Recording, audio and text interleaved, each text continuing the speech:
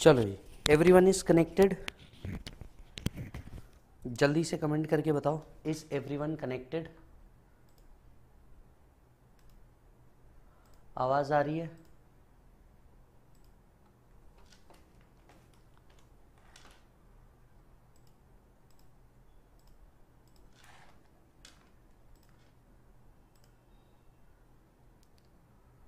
सभी बच्चों को आवाज़ आ रही है। बैकग्राउंड क्लियर है? हाँ या ना? फटाफट कमेंट करके बताओ। सबको आवाज़ आ रही है। एंड बैकग्राउंड क्लियर है क्या?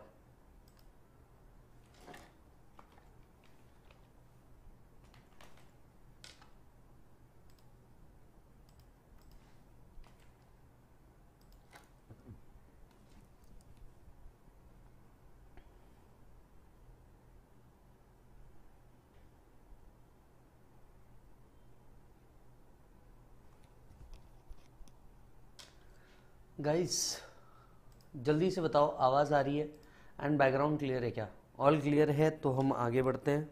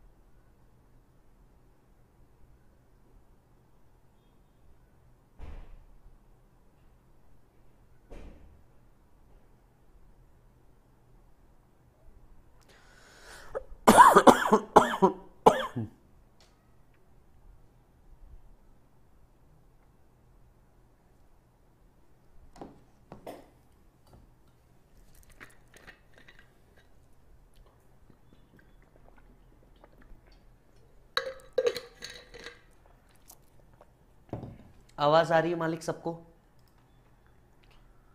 अरे कोई रिप्लाई तो करो ब्रो सब क्लियर है? चलो, बेहतर। अगर आपको याद होगा, मालिक, अगर आपको याद होगा तो we have already completed the topic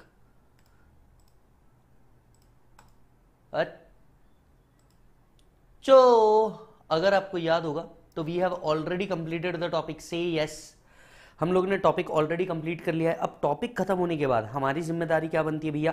इससे रिलेटेड सारे एमसीक्यू को सॉल्व करना। से यस इससे रिलेटेड सारे एमसीक्यू को हमको क्या करना है मालिक? सॉल्व करना है। बराबर है? सो so, आपको एक एमसीक्यू बुक भी दिया गया है। आपको क्या किया गया है मालिक? एक एमसीक्यू बुक भी दिया गया है और इस एमसीक्यू बुक के अंदर में सारे क्वेश्चन दिए गए हैं। तो क्यों ना हम आज क्वेश्चन एंड आंसर को देख ले? आई यू रेडी से यस आपको जो एमसीक्यू बुक दिया गया है ये एमसीक्यू बुक दो पार्ट के अंदर में डिवाइडेड है। पहले आपको पूरे इको के एमसीक्यू है और पीछे जाकर के अगर आप देखोगे तो आपको बी सी के एमसीक्यू दिए हुए हैं। यस बी सी के के एमसीक्यू क्या किए हुए हैं? दिए हुए हैं राइट कुछ बच्चे हैं जिन्होंने ऑलरेडी मेरे साथ यू नो ये एमसीक्यू को सॉल्व कर लिया है और जिन्होंने ये एमसीक्यू को मेरे साथ सॉल्व नहीं किया आइए हम फटाफट क्या करेंगे? इस एमसीक्यू को सॉल्व करेंगे और फिर ही जाके हमारा चैप्टर नंबर वन क्या होगा बेटा? कंप्लीट होगा। फिर ही जाकर के हमारा चैप्टर नंबर वन क्या होगा बेटा? कंप्लीट होगा। से यस से यस चलो जी। सो so, शुरुआत करते हैं फ़र्स्ट एमसीक्यू के। आप इधर आ जाइए, सबसे पहले आपका ये चालू होगा। जैसे अगर आप देखोगे बीसीके का क्वेश्चन बैंक आपका चालू होगा। जैसे आपका बीसीके का क्वेश्चन बैंक चालू होगा, आप आगे बढ़ेंगे। सबसे पहले आपको क्लास वर्क दिया हुआ है। ये हाल फ़िलहाल में नहीं, ये बाद में करेंगे राइट हाल फ़िलहाल में नहीं, ये बाद में करेंगे और इधर आइए page number 98 so everybody please be on page number 98 98 के ऊपर आ जाइए। यहाँ से हम लोग क्या करेंगे? आपका एमसीक्यू चालू करना चालू करेंगे। सभी लोग पेज नंबर 98 पे पहुँचते ही जल्दी से लाइक बटन को दबाइए ताकि हम लोग आगे बढ़ सके। मुझे समझ में आ जाएगा कि हाँ आप लोग भी आ चुके हैं। लाइक बटन को दबाइए और फटाक से आगे बढ़िए। डन चालू करूँ मालिक? चालू करूँ? चलो जी। स्टार्ट करेंगे।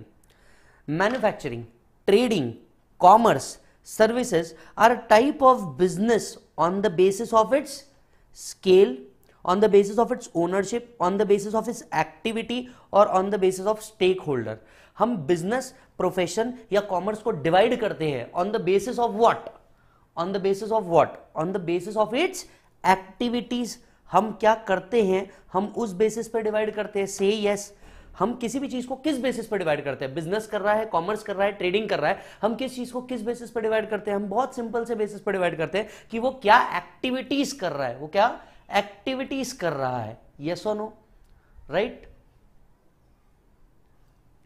so answer should be B answer should be B on the basis of its activity yes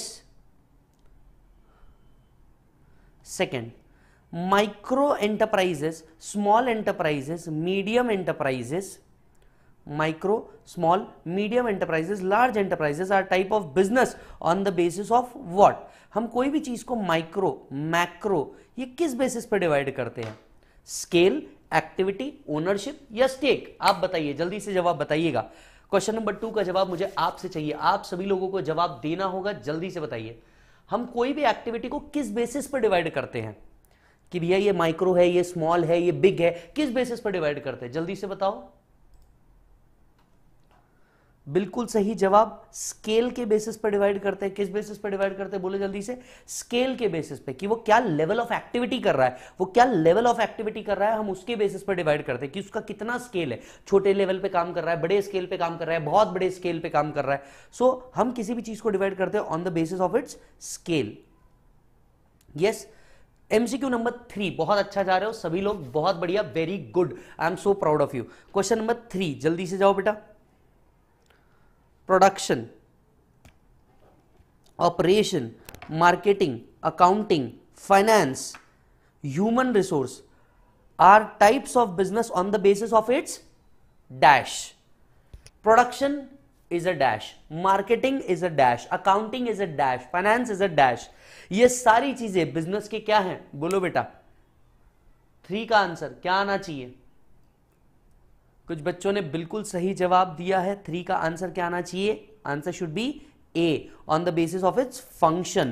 Accounting is a function, uh, you know, accounting is a function, marketing is a function. ये business के career out career अंदर किए जाने वाले बहुत सारे functions है right accounting marketing H R finance ये सारे बिज़नेस के क्या है बेटा? फ़ंक्शंस है। तो ये क्या हुआ आंसर ए फोर्थ का आंसर बताइए. State owned public sector private sector are type of business on the basis of बताइए. ये बिज़नेस सेक्टर है, ये प्राइवेट सेक्टर है, हम किन बेसिस पे इसे डिवाइड करते हैं? फ़ंक्शन के बेसिस पे एक्टिविटी के बेसिस पे या ओनरशिप के बेसिस पे? जल्दी से बताइए, किस बेसिस पे हम डिवाइड करते हैं? आप लोग सभी बहुत अच्छे से जवाब दिए जा रहे हैं। जितने लोगों ने अगर ऑलरेडी मेरे साथ ये पढ़ लिया है, फिर भी एक बार पढ़ लोगे तो सिर्फ़ रिवाइज होने वाला और कुछ नहीं होने वाला। जल्दी से बताइए, क्या हम पब्लिक प्राइवेट और ये ओनरशिप के बेसिस पर डिवाइड करते हैं? Very good ownership is the right answer ownership के बेसिस पर हम लोग क्या करते हैं इसे? डिवाइड करते हैं। चलिए next part local national multinational are type of business on the basis of its function activity geographic scope या शेयर होल्डर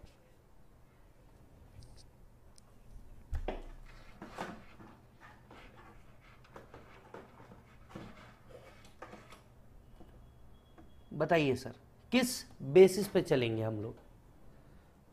ऑब्वियसली बात है जियोग्राफिक स्कोप हम कितना हम कितना क्या करते हैं बेटा?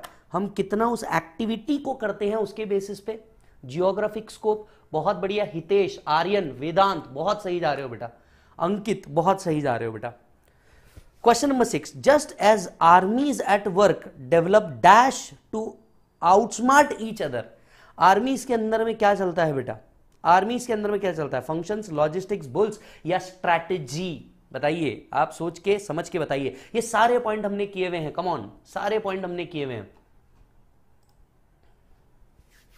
इधर हर्षवर्धन, सिद्धांत इंद्रनील बहुत सही जा रहे हो। जल्दी से बताओ, क्या होना चाहिए?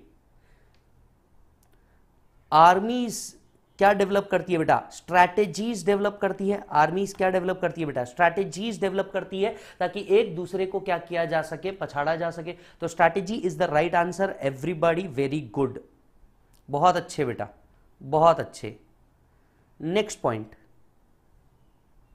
dash implies the stock market player stock market stock market stock market player who raise the stock price ऐसे चीज़ें जो स्टॉक प्राइस रेज करती है, बढ़ाती है स्टॉक प्राइस को इंक्रीज करती है, हम उसे फ़ंक्शन कहते हैं लॉजिस्टिक्स कहते हैं स्ट्रैटेजीज कहते हैं या बुल्स कहते हैं।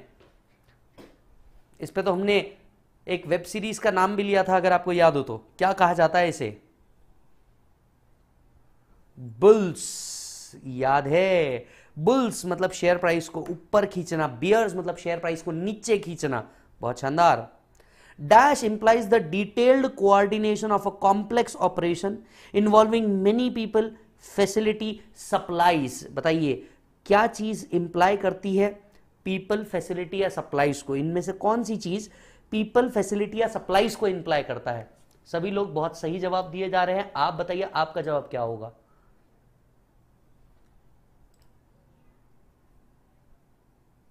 बिल्कुल सही लॉजिस्टिक्स लॉजिस्टिक्स होता है जो एक व्यक्ति को दूसरी जगह, एक जगह से दूसरी जगह पे पहुंचाता है राइट लॉजिस्टिक्स होता है जो एक फैसिलिटी प्रोवाइड करता है एक जगह से दूसरी जाने, जगह जाने के लिए सप्लाईज एक जगह से दूसरी जगह पहुँचाने के लिए। तो बहुत बढ़िया आंसर शुड बी सी बहुत बढ़िया नंदनी प्रकाश सूरज अंकित भीमराव सही जवाब। क्वेश्चन नंबर नाइन आपके भरोसे। Human engagements in all social religious cultural personal recreational, charity patriotic are bundle together as बताइए। ये सारी activity social religious cultural personal recreational ये सारी एक्टिविटीज़ कौन सी एक्टिविटीज़ होती है? Economic activity non economic activity both of above none of above बताइए, जवाब दीजिए, जल्दी से जवाब दीजिएगा। और अभी तक आपने वीडियो को लाइक नहीं किया, क्या हो गया है तुम्हें? जल्दी से लाइक करो। बहुत बढ़िया। रिया ने जवाब दे दिया, तन्मय ने जवाब दे दिया, नॉन इकोनॉमिक एक्टिविटी। आप बताइए, सर।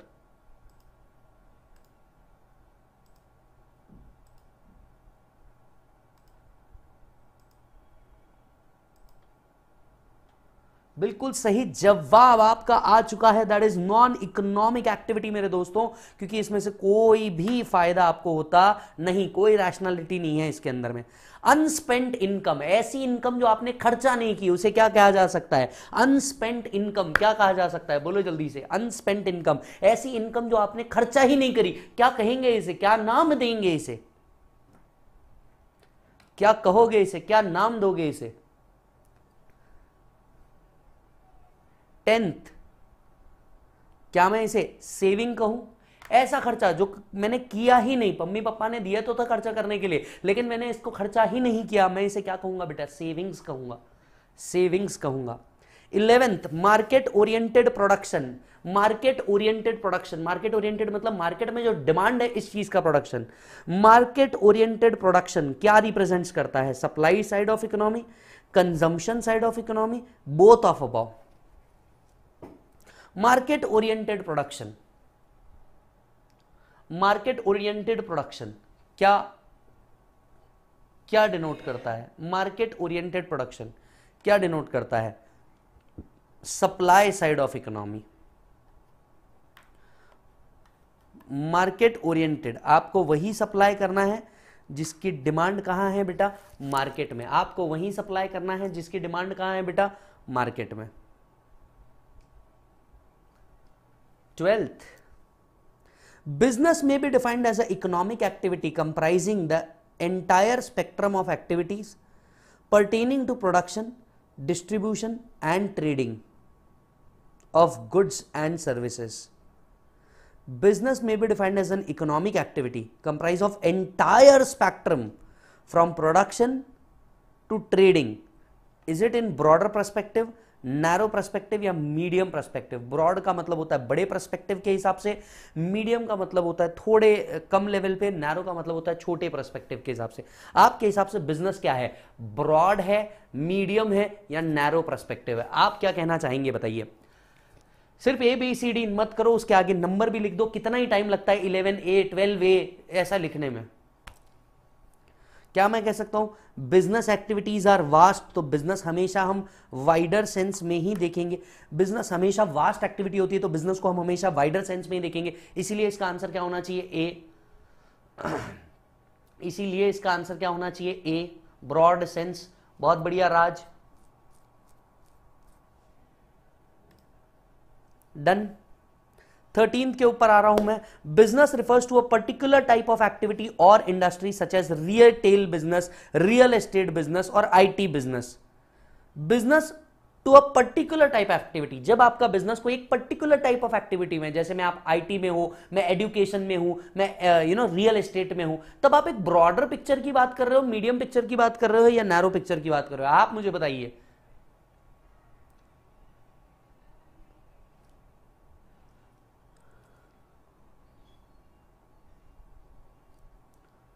कहना इसे हम एक नैरो प्रस्पेक्टिव की बात कर रहे हैं एक मीडियम प्रस्पेक्टिव की बात कर रहे हैं या किसकी बात कर रहे हैं? सर हम बात कर रहे हैं एक मीडियम प्रस्पेक्टिव की।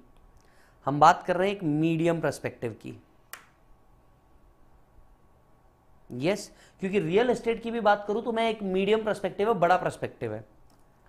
फोर्टींथ बिज़नेस में भी defined as one's usual occupation of creating owning activity of operating and economic organization a firm अगर मैं सिर्फ़ एक फर्म की बात कर रहा हूँ, चलिए बताइए, अब मैं सेक्टर की भी बात नहीं कर रहा। अब मैं अगर सिर्फ़ एक फर्म की बात कर रहा हूँ तो मैं ब्रॉड बात कर रहा हूँ मीडियम बात कर रहा हूँ या नैरो बात कर रहा हूँ। सिर्फ़ एक फर्म की बात कर रहा हूँ। जल्दी से जवाब दीजिए, अपनी मोहर लगाइए, मोहर लगा करके जल्दी से बताइए। आंसर क्या होना चाहिए? Narrow perspective. अगर हम सिर्फ़ एक दुकान की बात कर रहे हैं किसकी बेटा? हम सिर्फ़ एक दुकान की बात कर रहे हैं तो हम बहुत ही नैरो परस्पेक्टिव की बात कर रहे हैं। बहुत बढ़िया। Hotels providing, gainful employment to person with disability. ये हमने किया था, बताइए, वो कौन से होटल है जो पर्सन विद डिसेबिलिटीज को सहारा देते हैं? जल्दी से बताइए। एग्ज़ाम्पल हम लोगों ने पिक्टोरियल प्रेजेंटेशन में भी डाला था इसको। कमॉन पिक्टोरियल प्रेजेंटेशन दो होटल थी बेटा। एक थी ग्रीनेस्ट होटल और एक थी सबसे ज़्यादा एम्प्लॉयमेंट प्रोवाइड करने वाली होटल। सबसे ज़्यादा एम्प्लॉयमेंट प्रोवाइड करने वाली होटल जो है डिसेबिलिटीज को एम्प्लॉयमेंट प्रोवाइड करती है लेमन ट्री होटल्स और यही अगर ग्रीनेस्ट होटल की चेन देखा जाए that is MCQ number 16 ITC hotel क्या तुम्हें याद है? क्या तुम्हें याद है? याद है तुम्हें? भाई साहब भाई साहब, पहला की आप लोगों ने सक्सेसफुली कंप्लीट किया। जिन लोगों को बहुत मज़ा आया, हमने देखिए हमने जितना कंटेंट पढ़ा था ना मालिक, जितना कंटेंट पढ़ा था, वो सारा का सारा एमसीक्यू के अंदर में है। आपने जितने पॉइंट लिखे हैं, वो सारे के सारे एमसीक्यू के अंदर में है। मज़ा आ रहा है या नहीं, मुझे जल्दी बताइए। मज़ा आ रहा है या नहीं आ रहा है, जल्दी बताइए। आ रहा है तो जल्दी से वीडियो को लाइक करो, चैनल को सब्सक्राइब करो और बेल आइकन को दबा दो। जनरली यूट्यूबर्स यही बोलते हैं ना भाई? जनरली यूट्यूबर्स यही बात बोलते हैं, चलो अपन भी यही बात बोल देंगे। ओए होए होमवर्क टू वैसे तो ये होमवर्क है बट मुझे लगता है हमने अभी कर लेना चाहिए। यस मुझे लगता है कि हमने अभी ही कर लेना चाहिए तो चलो जल्दी से। सॉल्व करेंगे। क्या करेंगे? सॉल्व करेंगे। नेक्स्ट होमवर्क भी आप मेरे साथ तुरंत सॉल्व करेंगे। चलो जल्दी से ढूंढ करके निकालो। जल्दी से ढूंढ करके निकालो। कमॉन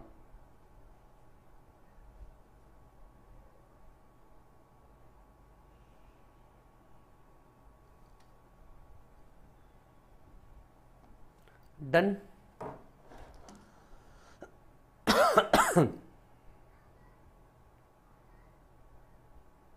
बोलो जी।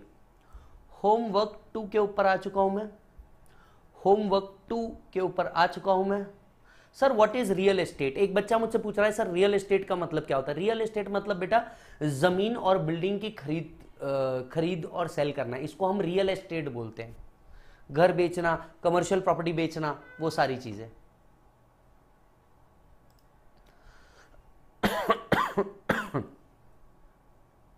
डन हो गया मालिक। चलो।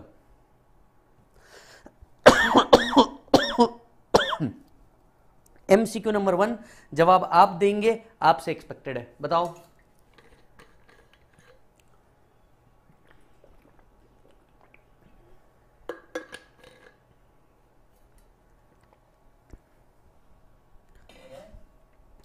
There is a requirement for registration there is a requirement for registration of following as per the Indian Companies Act 2013 MTP model test papers जो आपका इंस्टीट्यूट निकालता है, उसके अंदर का क्वेश्चन है। There is a requirement of registration of following as per the Indian Companies Act Indian Companies Act के हिसाब से रजिस्ट्रेशन की ज़रूरत बताइए सर किसको होती है? Private company public company one person company या all of the above registration साहब रजिस्ट्रेशन की ज़रूरत तो सबको होती है। इसका आंसर क्या होना चाहिए बेटा?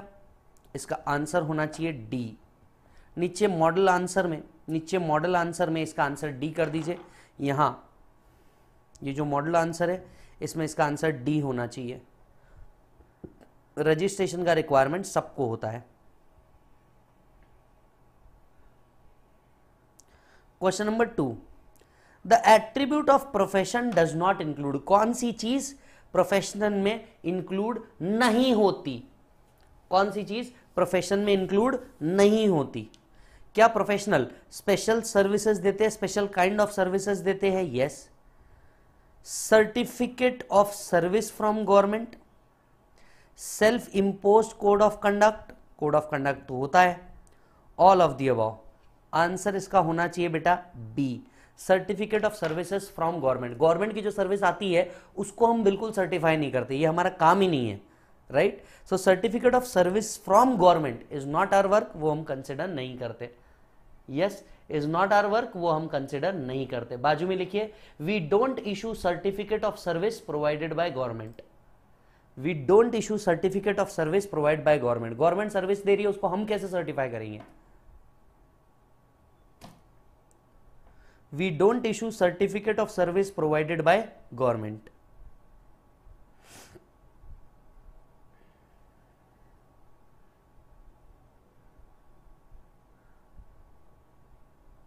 Done है बच्चा? Next point third which of the following is a organic objective of business organic objective कहाँ पढ़ा था हमने? याद करो इकोनॉमिक ऑब्जेक्टिव ऑर्गेनिक ऑब्जेक्टिव वो सारी चीज़ें पढ़ी थी। Which of the following is an economic objective इनमें से कौन सी चीज़ आपका इकोनॉमिक ऑब्जेक्टिव के अंदर में आती है? ऑर्गेनिक ऑब्जेक्टिव के अंदर में आती है। अदर ऑब्जेक्टिव के अंदर में आती है। यहाँ पे वो लोग हमसे स्ट्रेट अवे पूछ रहे हैं ऑर्गेनिक ऑब्जेक्टिव आपका क्या है? Organic objective fitness of human resource वहीं पे क्लियर कट भी लिखा है। Fitness of human resource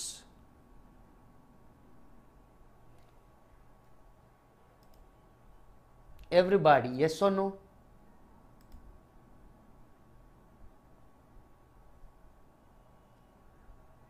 ये आपका ऑर्गेनिक एक्टिविटी के अंदर में आता है। ऊपर क्लियर कट लिखा भी है। A partnership may not be formed for carrying out trade occupation profession या सोशल एंटरप्राइज कम ऑन इसका जवाब तो डेफिनेटली आपकी तरफ़ से आना ही चाहिए। पार्टनरशिप किस चीज़ के लिए फॉर्म नहीं हो सकती? पार्टनरशिप किस चीज़ के लिए फॉर्म नहीं हो सकती? आप देख लीजिए कितने बार इस क्वेश्चन को पूछा गया है। MTP October 2019 active MTP October 2018 MTP March 2018 आप बताइए सर। प्रोफेशन कैसे गलत जवाब दे रहे हो सेजल, प्रभाकर? नहीं, भीमराव, आपने गलत जवाब दिया है। बाकी सबने सही जवाब दिया है social enterprise partnership social work के लिए नहीं फॉर्म की जा सकती. पार्टनरशिप सिर्फ़ बिज़नेस के लिए फॉर्म की जा सकती है. Business include profession trade occupation but social enterprise इसमें कवर नहीं होता. फिफ्थ आप ही के लिए, आपके सामने. Which of the following statement is correct with respect to H U F कौन सी चीज़ करेक्ट है with respect to H U F H U F के बारे में कौन सी चीज़ सही है? एम एमटीपी अक्टूबर 2019 का क्वेश्चन है. हाँ जी, बताइए which of the following statement is correct with respect to H U F H U F earns income from salary ये तो गलत है। Four successive generation of an individual ये भी गलत है थ्री सक्सेसिव जनरेशन होता है। H U F enjoy separate entity status under income tax I think correct वाला स्टेटमेंट ढूंढना है and this seems to be perfect everybody बहुत हार्ड होते जा रहे हैं ना MCQ Question number 6. Business as an institution is job creator job seeker और बोथ बताइए बिज़नेस क्या करता है? जॉब सीख करता है जॉब ढूंढता है या जॉब क्रिएट करता है दूसरों के लिए? जल्दी से बताइएगा साहब। और अभी तक आप लोगों ने लाइक बटन नहीं दबाया। भैया, क्यों ऐसा? मज़ा नहीं आ रहा। बिल्कुल सही जवाब। हम लोग कौन है बेटा? जॉब क्रिएटर हमारा काम ही जॉब क्रिएट करना होता है जब हम बिज़नेस में होते हैं। Seventh the occupation in which people work for other and get remuneration हम दूसरों के लिए काम करके जब रेम्यूनरेशन लेते हैं अरे भाई साहब, जल्दी से बताइए, जब हम दूसरों के लिए काम करके रेम्यूनरेशन लेते हैं, जब हम दूसरों के लिए काम करके रेम्यूनरेशन लेते हैं, इसे क्या कहते हैं बेटा? एम्प्लॉयमेंट याद आ रहा है। क्या कहते हैं बेटा इसे? एम्प्लॉयमेंट बहुत शानदार बेटा। चलो next point Indian Companies Act provide for registration of private company public company one person company small company defunct company जिसे डॉर्मेंट भी कहा जाता है। क्या सभी का रजिस्ट्रेशन करना पड़ेगा? हाँ या हाँ। क्या सभी का रजिस्ट्रेशन करना पड़ेगा? अरे हाँ भाई हाँ सभी का रजिस्ट्रेशन करना पड़ेगा। यो मैन सभी का रजिस्ट्रेशन करना पड़ेगा। मार्क इनकरेक्ट एक ऐसी चीज़ ढूंढनी है जो सही नहीं है। एमटीपी अप्रैल 2019 का भी या ऐसी चीज़ ढूंढनी है जो इनकरेक्ट नहीं है। इन सॉरी इनकरेक्ट है। Business has only one motive profit plurality of object is a modern phenomenon object of survival and growth of business are called as organic objective in addition to the economic motive it may have non economic motive अगर इन सारी चीज़ों को देख लिया जाए एक line तो हमारे पास बहुत क्लियर है business has only one motive that is profit answer is no क्या तुम्हें याद है? बिज़नेस के और भी मोटिव होते हैं। चलो जल्दी से कमेंट करके बताओ, और कौन कौन सी चीज़ मोटिव होते हैं बिज़नेस के? याद होगा तो हमने ये लिखा हुआ भी है। याद होगा तो हमने ये लिखा हुआ भी है। Business has not only one motive business के कई मोटिव होते हैं।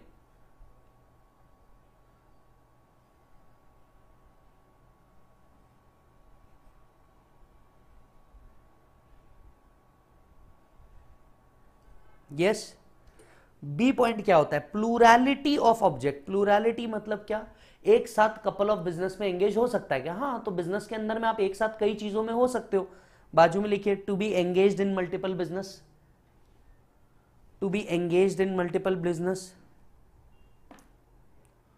to be engage in multiple business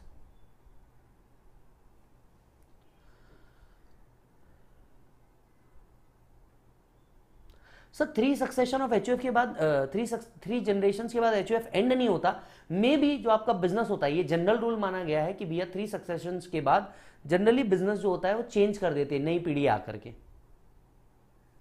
Done the maximum number of members of a public company बताइए कितना गलत और फालतू सवाल पूछा गया आपसे। पब्लिक कंपनी के अंदर में मैक्सिमम नंबर ऑफ़ मेंबर्स कितने होते हैं बेटा? इसकी कोई लिमिट नहीं है। इलेवेंथ। मार्क कीजिए उस चीज़ को जो करेक्ट है, लेकिन सबसे पहले एक चीज़ को सुधारिए, यहाँ पे एलएलपी एक्ट 2008 होना चाहिए। एक करेक्ट चीज़ हमने ढूंढनी है, अप्रैल 19 का एमटीपी और मार्च 19 का एमटीपी दिया गया है। बताइए sir, Hindu Succession Act is applicable to H U F L L P may be constituted on the basis of L L P Act the dormant companies are registered under the Companies Act, या सभी के सभी बिल्कुल सही है। आपको क्या लगता है भाई साहब, लगने का क्या है उसमें? जवाब बिल्कुल क्लियर है। ये सारे के सारे चीज़ें सही है। हिंदू सक्सेशन एक्ट एप्लीकेबल होता है, जब एचयूएफ होता है। L L P is govern by L L P Act 2008 कीजिए यहाँ पे। डॉर्मेंट कंपनी कंपनीज़ एक्ट में रजिस्टर्ड होती है। ये सारी स्टेटमेंट करेक्ट है तो answer is all of the above twelfth, again भैया M T P April nineteen M T P March nineteen March eighteen में भी पूछा गया है। Which of the following statement distinguish business from entrepreneurship business को entrepreneurship से क्या अलग कर देता है? Entrepreneurs are business owners too all business owners are entrepreneur entrepreneur seek out new opportunity to pursue innovative business ideas innovative business ideas वैसे इसका answer है सी आंट्रप्रेन्योर बिज़नेस से सिर्फ़ एक ही चीज़ अलग करता है आंट्रप्रेन्योर न्यू अपॉर्चुनिटी खोजते रहता है। आंट्रप्रेन्योर क्या करता है? न्यू अपॉर्चुनिटी खोजते रहता है और यही उसका बेनिफिट है। यही उसका क्या है बेटा? बेनिफिट है। यस बहुत शानदार thirteenth which of the following is not an economic objective of the firm कौन सी चीज़ इकोनॉमिक ऑब्जेक्टिव में नहीं आती? नॉट एन इकोनॉमिक ऑब्जेक्टिव कौन सी चीज़ है जो आपके इकोनॉमिक ऑब्जेक्टिव में नहीं आती? Answer is D conversation of natural resources sales से प्रॉफिट आता है मार्केट शेयर इंप्रूव होगा तो प्रॉफिट आएगा। Profit and return on investment भी आपका इकोनॉमिक एक्टिविटी होती है। सिर्फ़ कंजर्वेशन ऑफ़ नेचुरल रिसोर्स ही एक ऐसी चीज़ है जो आपकी प्योरली नॉन इकोनॉमिक एक्टिविटी होती है। नीचे आंसर शीट में जाकर के भी थर्टीन का आंसर को डी कीजिएगा।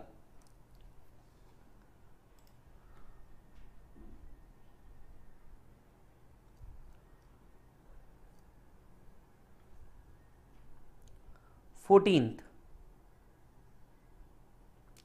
मार्क इनकरेक्ट, ऐसी चीज़ बतानी है जो इनकरेक्ट है। Partnership implies contractual ownership between the business liability of partner is limited to one's share capital partnership में बतानी है। कॉन्ट्रैक्चुअल लाइबिलिटी होती है, बिल्कुल होती है। कॉन्ट्रैक्चुअल ओनरशिप होता है। लाइबिलिटी ऑफ़ पार्टनर लिमिटेड होता है। Contract is an agreement enforceable at law is called as deed and deed में भी रजिस्टर्ड इन पार्टनरशिप इनमें से बताइए इनकरेक्ट कौन सा है?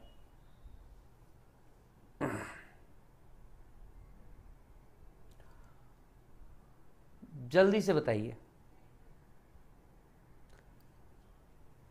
सर आंट्रप्रेन्योर कौन होता है? बेटा आंट्रप्रेन्योर वो होता है जो रिस्क एंड अपॉर्चुनिटीज़ लेता है। नए नए बिज़नेस के अंदर में क्या करता जाता है? एंटर करते जाता है। अब अगर आप अडानी ग्रुप को बोलोगे, अंबानी ग्रुप को बोलोगे, हम इन्हें entrepreneur as well as business owner भी कहेंगे, क्योंकि ये कंटिन्यूसली नए नए बिज़नेस में क्या होते जाते हैं? एंटर होते जाते हैं। बताइए। क्या मैं कह सकता हूँ? फोर्टीन का आंसर बी होगा, क्योंकि पार्टनरशिप के अंदर में लाइबिलिटी उसकी लिमिटेड हो सकती नहीं। उसकी लाइबिलिटी कैसी होती है बेटा? अनलिमिटेड इसीलिए आंसर इसका होना चाहिए बी, नीचे आंसर शीट में भी इसका आंसर बी होना चाहिए। तो यहाँ पे भी इसका आंसर बी होना चाहिए। Please rectified fifteenth the Indian companies act provide for registration of all ये तो खैर रिपीट है। ये तो खैर रिपीट है। Sixteen H U F cannot comprise members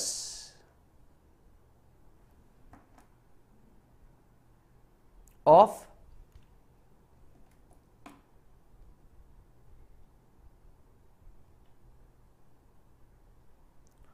बोलो बेटा। Muslim family under the income tax act H U F cannot earn income from चलिए, ये जवाब तो आप ही मुझे बताएँगे। ये जवाब तो आप ही मुझे बताएँगे। H U F cannot earn income from बोलो ना मेरे बच्चे। सैलरीज वो सैलरीज से इनकम नहीं कमा सकते, ये हमने कल भी देखा था। Eighteenth which of the following is an economic activity इनमें से कौन सी इकोनॉमिक एक्टिविटी है? Social interest social security selfless concern या मेरा self interest economic activity always comes with a self interest मेरा क्या? They always comes with a self interest मेरा क्या? Yes?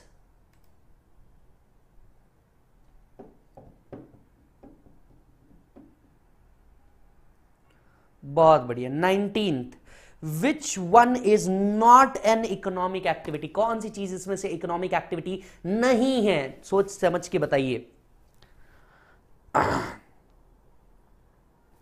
Purchasing shares economic activity है। Audit by chartered accountant fees मिलेगी। Production and consumption production and consumption से भी आपको पैसा आएगा। Planting and tree in your garden is purely a not economic activity तो नीचे आंसर शीट में भी आंसर बी होना चाहिए। 19 the answer should be b.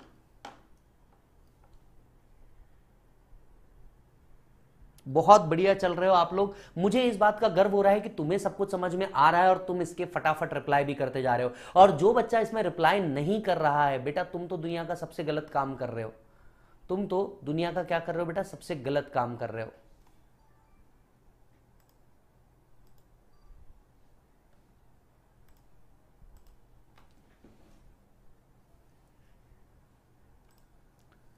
Yes बेटा। चलो। Twentieth which of the following is not an economic objective of the firm बताइए कौन सी चीज़ इकोनॉमिक ऑब्जेक्टिव में नहीं आती?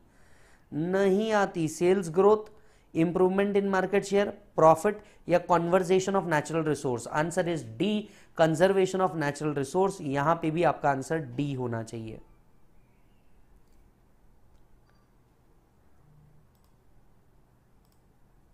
यस यहाँ पे भी आपका आंसर क्या होना चाहिए बेटा? डी होना चाहिए। 21 पेज नंबर 103 अगर आप देखें तो पहले के कुछ सत्रह अठारह एमसीक्यू यहाँ के अब तक के 20 हो गए। हम more than 30 MCQ already solve कर चुके हैं चैप्टर नंबर वन में। 21 पे आइए। The maximum number of members in case of a public company इस पे कोई लिमिट नहीं है।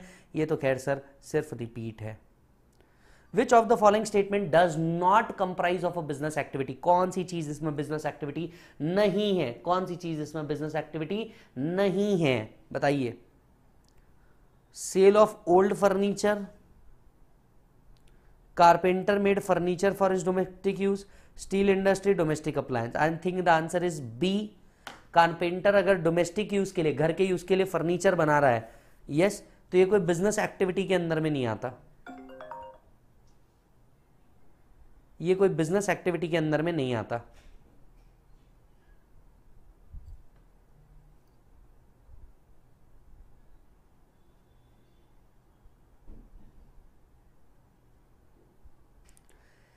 Indian companies act provide for registration of all of the above again एक रिपीट क्वेश्चन है, सर, ये। Maximum number of member of private company कितना होना चाहिए? बताइए सर कितना होना चाहिए? बताइए सर टू हंड्रेड कितना होना चाहिए सर बताइए sir two hundred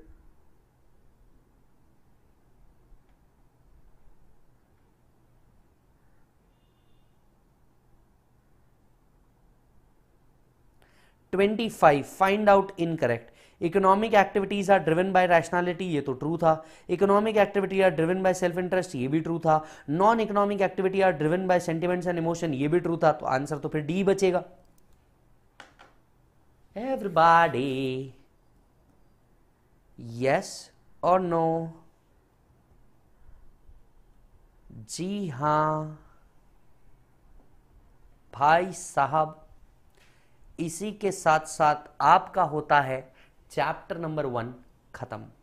इसी के साथ साथ you know chapter number one होता है खत्म। मज़ा आया या नहीं आया, ये बताइए।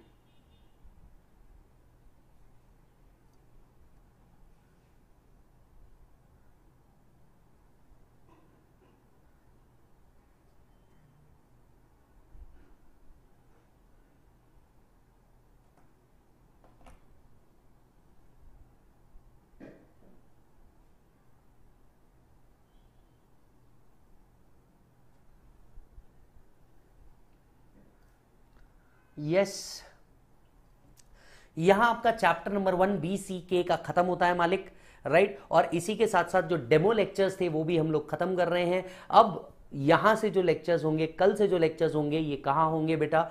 आपके ड्राइव के लिंक के ऊपर होंगे, या हो सकता है हम एक दो दिन के लिए एक्सटेंड भी कर दे, जो भी होगा यू नो वो आपको कम्युनिकेट कर दिया जाएगा। कल सभी लोग, कल तो खैर, आज पुणे के अंदर में यू नो ये था। क्या बोलते पालकी थी, जिसके कारण हम लोग अटेंड नहीं कर पाए live classes face to face classes इसी के लिए आज वर्चुअल क्लास हुआ राइट स्टूडियो के अंदर में। लेकिन मेरे दोस्त, मेरे भाई, हम लोग क्या करेंगे? हम लोग कल वापस से फेस टू फेस के अंदर में क्या करेंगे बेटा?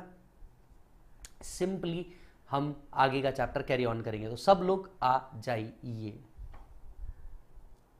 यस मिलूँगा आपसे कल।